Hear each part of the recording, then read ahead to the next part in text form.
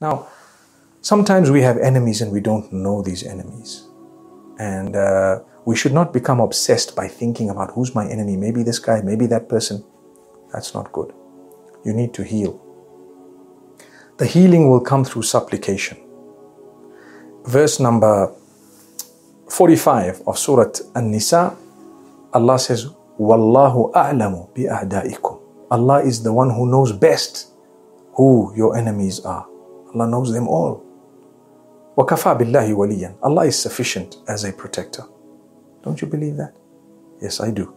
وَكَفَى بِاللَّهِ نَصِيرًا Allah is the best disposer of affairs. Don't you believe that?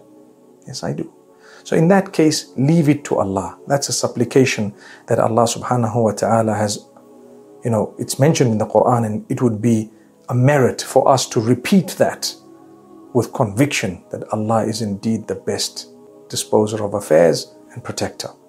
So in this way, Allah will grant us a beautiful healing